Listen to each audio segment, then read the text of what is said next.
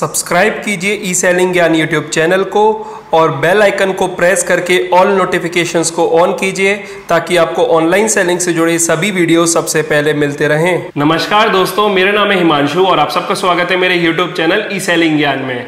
दोस्तों, अगर आप अमेजन फ्लिपकार्ट जैसे किसी भी मार्केट प्लेस पर ऑनलाइन सेल करते हो और आप भी अपने ऑर्डर्स ग्रो करना चाहते हो, आप भी चाहते हो आप डेली के 100-200 ऑर्डर डिस्पैच करो तो ये वीडियो आपके लिए है। मैं इस वीडियो में आपके साथ सेवन टिप्स शेयर करूँगा, जिनको आपको फॉलो करना है। और इससे आपकी सेल्स आपकी ऑनलाइन सेल्स डेफिनेटली बढ़ने वाली है। तो बिना देरी करे अब वीडियो शुरू करते हैं। पहली टिप है product listing SEO and optimisation आप जो भी प्रोडक्ट मार्केट प्लेस पर ऑनलाइन लिस्ट कर रहे हैं तो आपको हमेशा तीन चार बातों का ध्यान रखना है। सबसे पहले आपकी इमेज की क्वालिटी एकदम अच्छी होनी चाहिए। आपको प्रोडक्ट के चारों तरफ़ से इमेज कैप्चर करके अपलोड करने हैं व्हाइट बैकग्राउंड के साथ अपलोड करने हैं और एकदम क्लियर अपलोड करने हैं। दूसरा चीज़, आपका टाइटल एकदम अट्रैक्टिव होना चाहिए, क्योंकि टाइटल और इमेज ही है जिसे देखकर कस्टमर आपके प्रोडक्ट की बाकी डिटेल्स चेकआउट करता है। तो आपको टाइटल एकदम अट्रैक्टिव रखना है, ताकि कस्टमर का टाइटल देखकर मन करे प्रोडक्ट को करने का। और फिर उसके बाद जो तीसरी सबसे मेन चीज़ है बुलेट पॉइंट्स और प्रोडक्ट डिस्क्रिप्शन आपको एकदम to the point bullet points में लिखना है, अपने प्रोडक्ट के बारे में इंफॉर्मेशन प्रोवाइड करनी है। और डिस्क्रिप्शन में कोई भी फालतू बात नहीं लिखनी, बिल्कुल प्रोडक्ट के बारे में जो भी एक्यूरेट इंफॉर्मेशन हो, वो डिस्क्राइब करनी है। इससे आपके प्रोडक्ट लिस्टिंग की विजिबिलिटी भी बढ़ जाती है। मार्केट प्लेस की सर्च एल्गोरिथम में आपके प्रोडक्ट के आने के चांसेस बढ़ जाते हैं। तो प्रोडक्ट दिखने भी ज़्यादा लग जाता है। और ये तो एक गोल्डन रूल है कि अगर आपका प्रोडक्ट ज़्यादा दिखता है मार्केट प्लेस पर तो डेफिनेटली वो बिकना तो है ही है फिर ज़्यादा। दूसरी टिप है एडवर्टीजमेंट और प्रमोशंस फ्रेंड्स आपको अपने प्रोडक्ट के एडवर्टीजमेंट रन करने हैं इन मार्केट प्लेसेस पर, लेकिन आपको एकदम शुरुआत से एडवर्टीजमेंट रन नहीं करने। जैसा मैंने आपको पहले पॉइंट में बताया कि आपको एकदम अपनी ऑप्टिमाइज प्रोडक्ट लिस्टिंग करनी है। जब आप अपनी प्रोडक्ट लिस्टिंग एकदम एक्यूरेट करोगे तो टू द पॉइंट करोगे तो आप एक बार आपको उसे चेक करना है कि उससे आपकी सेल्स आ रही है या फिर नहीं आ रही है। और फिर कुछ दिन बाद एनालिसिस करने के बाद आपको फिर उस प्रोडक्ट पर एडवर्टीजमेंट रन कर सकते हो। एक बात और फ्रेंड्स आप याद रखिए, जब भी आप कभी एडवर्टीजमेंट रन करो तो आपको कभी भी ऐसे प्रोडक्ट पर एडवर्टीजमेंट रन नहीं करना है, जिसमें प्राइस कंपटीशन हो। मतलब अगर आपके जैसा प्रोडक्ट कोई और सेलर भी सेल कर रहा है, और अगर आप चाह रहे हो कि आप उस प्रोडक्ट में एडवर्टीजमेंट रन करोगे तो कोई फ़ायदा नहीं है, क्योंकि अगर आप एडवर्टीजमेंट रन करोगे और आपका प्रोडक्ट ऊपर आ भी गया, और आप मानकर चलिए आपका प्रोडक्ट दो चार रुपए सस्ता हुआ भी, तब भी ज़रूर नहीं है कस्टमर आप ही से प्रोडक्ट खरीदे। हो सकता है वो कि दूसरे सेलर से भी प्रोडक्ट खरीद सकता है, अगर उसके पास कस्टमर रिव्यू और कस्टमर रेटिंग्स वगैरह बढ़िया है तो। क्योंकि आजकल कस्टमर बहुत ज़्यादा होशियार हो गए हैं, और हर कोई कस्टमर रिव्यू और रेटिंग देखकर ही प्रोडक्ट को परचेज करता है। तो इसलिए एडवर्टीजमेंट आपको कभी भी कॉम्पिटेटिव प्रोडक्ट में तो नहीं करना है। आपको एडवर्टीजमेंट हमेशा ऐसे प्रोडक्ट पे करना है जो कि आपके पास यूनिक हो, जिनके ज़्यादा सेलर ना हो और बहुत ही मिनिमम सेलर हो। तो आपको ऐसे प्रोडक्ट के ऊपर एडवर्टीजमेंट करनी है कैंपेन रन करने हैं और कैंपेन रन करने के बाद आपको एनालिसिस करना है और जो भी नेगेटिव कीवर्ड्स हैं उनको हटाना है, ताकि आपका जो कैंपेन है वो ऑप्टिमाइज रहे और आपको ज़्यादा आर मिले। तीसरी टिप है गेटिंग रिव्यूज़ अभी जैसा हमने दूसरे पॉइंट में ही डिस्कस किया कि कस्टमर ज़्यादातर उस प्रोडक्ट को प्रेफर करता है जिसके पास रिव्यूज़ अच्छे होते हैं। तो आपको भी अपने प्रोडक्ट के लिए रिव्यूज़ जनरेट करने हैं। अब आपको रिव्यूज़ कैसे लेने हैं? देखिए, कोई भी आपको सबसे पहले तो इसमें ब्राइबरी वाला काम नहीं करना है। आप प्रोडक्ट के ऊपर स्टिकर लगा सकते हैं और उसमें बिल्कुल फ्रेंडली वे में लिख सकते हैं कि अगर आपको प्रोडक्ट पसंद आया हो, अगर आपको प्रोडक्ट की पैकिंग पसंद आई हो, अगर आपको प्रोडक्ट ऑन टाइम मिल गया हो तो आप प्रोडक्ट पर रिव्यू कर दीजिए। आपको यही सब बस इंग्लिश में मेंशन कर देना है और अगर कस्टमर को वो चीज़ पसंद आई होगी तो कस्टमर डेफिनेटली उस पर रिव्यू देगा।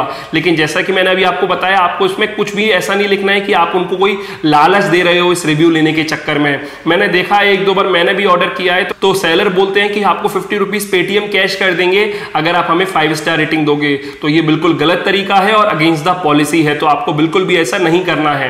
दूसरी चीज़, आप फ्री गुडीज भी बेच सकते हो। अगर जैसे आपका कोई एक्सपेंसिव प्रोडक्ट है, हज़ार, दो हज़ार रुपए का प्रोडक्ट है तो आप बीस तीस रुपए का कोई गुडी अगर आप चाहो तो उसके साथ भेज सकते हो। इससे कस्टमर हैप्पी फील करता है और जब कस्टमर हैप्पी फील करता है तो वो रिव्यू देने के चांसेस भी बहुत ज़्यादा बढ़ जाते हैं। तो ये कुछ तरीके हैं जिनसे आप कस्टमर से रिव्यू ले सकते हो। फोर्थ टिप है मेक कॉम्बोज आपको हमेशा अपनी इन्वेंट्री में कुछ कॉम्बो प्रोडक्ट भी इन ऑनलाइन प्लेटफॉर्म पर लिस्ट करना ही है। कॉम्बो प्रोडक्ट हमेशा कस्टमर के लिए भी और सेलर के लिए भी बेनिफिशियल रहते हैं। कस्टमर के लिए इसलिए बेनिफिशियल रहते हैं क्योंकि कस्टमर को कम वैल्यू में ज़्यादा चीज़ें मिल जाती हैं और सेलर के लिए इसलिए बेनिफिशियल रहते हैं क्योंकि सेलर को ज़्यादा मार्जिन मिलता है। तो दोनों के लिए बेनिफिशियल रहते हैं, इसलिए आपको हमेशा अपनी इन्वेंट्री में कुछ कॉम्बो प्रोडक्ट लिस्ट करने हैं। कॉम्बो प्रोडक्ट के ऊपर मैं एक डेडिकेटेडली ये वीडियो बना चुका हूँ। अगर आपने नहीं देखी है तो आप इस वीडियो को देख सकते हैं। मैंने इसमें आपको सब कुछ कॉम्बो प्रोडक्ट के बारे में बताया है। आपको अगर कोई भी डाउट हो कॉम्बो प्रोडक्ट के रिगार्डिंग तो आप उस वीडियो को ज़रूर चेक कर लीजिएगा। देखिए, सबसे मेजर एडवांटेज जो कॉम्बो प्रोडक्ट का होता है, वो यही होता है कि दो प्रोडक्ट पे एक ही शिपिंग चार्ज लगने वाला है। मतलब आप एक प्रोडक्ट बेचते हो तो उस पर भी सत्तर रुपए लगेगा, और आप दो प्रोडक्ट बेच रहे हो, तब भी सत्तर रुपए लगेगा। तो पर प्रोडक्ट जो शिपिंग चार्ज है, वो थर्टी फाइव रुपीज़ हो गया। मतलब डिवाइड हो गया शिपिंग चार्ज दो प्रोडक्ट के बीच में। तो फ्रेंड्स इसलिए कॉम्बो प्रोडक्ट में बेनिफिट रहता है। आपको हमेशा कॉम्बो प्रोडक्ट की भी प्रोडक्ट लिस्टिंग करनी चाहिए। ये हमेशा बेनिफिट देते हैं और आपकी सेल्स इससे बढ़ती ही बढ़ती है। फिफ्थ टिप है send product to fulfilment centre देखिए फ्रेंड्स अगर आप अमेजन पर ऑनलाइन सेल करते हो तो आप अपने प्रोडक्ट को अमेजन के FBA में ज़रूर भेजिए। अमेजन FBA में भेजने से आपके ऑर्डर्स बढ़ने ही बढ़ने हैं। देखिए, कुछ प्रोडक्ट ऐसे होते हैं जो कि आप अमेजन FBA में नहीं बेच सकते। अगर हम उनको एक्सेप्शन हटा दें उस एक्सेप्शन को तो बाकी सभी प्रोडक्ट अमेजन के FBA में भेजा जा सकता है। और फ्रेंड्स इससे मैंने देखा है कि जो सेलर्स हैं, उनके ऑर्डर्स बढ़ते हैं। इसके अलावा अगर मैं फ्लिपकार्ट की बात करूँ तो फ्लिपकार्ट में स्मार्ट फुलफिलमेंट के थ्रू और फ्लिपकार्ट फुलफिलमेंट के थ्रू आप सेल कर सकते हैं, लेकिन ये इन्विटेशन बेस्ड प्रोग्राम है। अगर आप खुद से चाहें स्मार्ट फुलफिलमेंट या फिर फ्लिपकार्ट के वेयर हाउस में बेचकर प्रोडक्ट सेल करना तो ऐसा नहीं हो सकता। आपको पहले एज अ नॉर्मल सेलर अच्छी सेल्स रिसीव करनी होगी और फिर उसके बाद फ्लिपकार्ट आपको इन्वाइट करेगा। स्मार्ट फुलफिलमेंट में तो आप अपने वेयर हाउस से ही अपने प्रोडक्ट रख के स्मार्ट फुलफिलमेंट के थ्रू सेल कर सकते हो और आपको एफ़ टैग मिल जाएगा और फ्लिपकार्ट फुलफिलमेंट में आप फ्लिपकार्ट के वेयर हाउस में बेच सकते हो। लेकिन अमेजन में आप डे वन से ही अमेजन एफ़ में बेच सकते हो। मैंने काफ़ी सेलर्स के केस में देखा है, इससे ऑर्डर्स की ग्रोथ होती ही है। सिक्स पॉइंट है ह्यूज डिस्काउंट्स अगर आप प्राइवेट लेबल ब्रांड के प्रोडक्ट सेल कर रहे हो तो आपको अपने प्रोडक्ट पर अच्छे डिस्काउंट्स देने हैं। ये आजकल सभी कस्टमर्स का परसेप्शन होता है कि जहाँ ज़्यादा डिस्काउंट मिलता है, वहाँ पर कस्टमर अट्रैक्ट होते हैं और वहाँ पर प्रोडक्ट परचेज करने की जो पावर है कस्टमर की बढ़ जाती है। वो प्रोडक्ट परचेज कर लेते हैं। तो इसलिए अगर आप प्राइवेट लेबल ब्रांड के प्रोडक्ट भेजते हो तो आपको ऐसा दिखाना है कि आप अपने प्रोडक्ट पर साठ ऑफ़ दे रहे हो सेवेंटी ऑफ़ दे रहे हो। आपने देखा होगा कि सेल में ऐसा ही होता है। Up to 60 percent off up to 70 percent off तो आपको भी अपने प्रोडक्ट पर ह्यूज डिस्काउंट देना ही है। जो लास्ट टिप है, वो है प्रोडक्ट एनालिसिस देखिए फ्रेंड जब भी आप ऑनलाइन सेलिंग करते हैं और किसी भी प्रोडक्ट को मार्केट प्लेस पर लॉन्च करते हैं तो आपको उस प्रोडक्ट की एनालिसिस करनी है प्रोडक्ट लिस्टिंग से पहले. आपके कॉम्पिटिटर किस प्राइस पॉइंट पर उस प्रोडक्ट को सेल कर रहे हैं या फिर उस जैसे प्रोडक्ट को सेल कर रहे हैं, और उसी हिसाब से आपको एक आइडिया लेना है. वैसे अमेजन में कुछ प्रोडक्ट एनालिसिस के टूल भी अवेलेबल है, अगर आप कहोगे तो मैं नेक्स्ट वीडियो में उसको बता दूँगा. आप मुझे प्लीज़ कमेंट्स में बताइए. लेकिन फ्रेंड्स आपको प्रोडक्ट एनालिसिस करनी है ऑनलाइन लिस्टिंग करने से पहले, जिससे कि आपकी जो ऑर्डर्स हैं, आपको एक आइडिया लग जाए कि उस टाइप के प्रोडक्ट की कितनी सेल है इन मार्केट प्लेस पर और किस प्राइस पॉइंट पर ये सेल हो रहे हैं। तो फ्रेंड्स यही कुछ टिप्स थी जो कि मेरे को आपको इस वीडियो में देनी थी और आपको इनको फॉलो करना है। मैं गारंटी से कह रहा हूँ फ्रेंड्स अगर आप कुछ टिप्स भी फॉलो कर लोगे तो आप खुद से ही देखोगे आपके जो नंबर ऑफ़ ऑर्डर्स हैं, वो बढ़ रहे हैं। और यही एक सक्सेस मंत्र है इन ई कॉमर्स प्लेटफॉर्म पर एक्सेल करने का सक्सेसफुल होने का। तो आपको ये फॉलो करने हैं।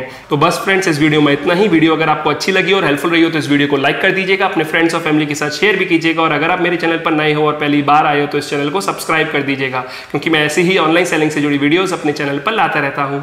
फ़िलहाल अभी के लिए मैं चलता हूँ। Thank you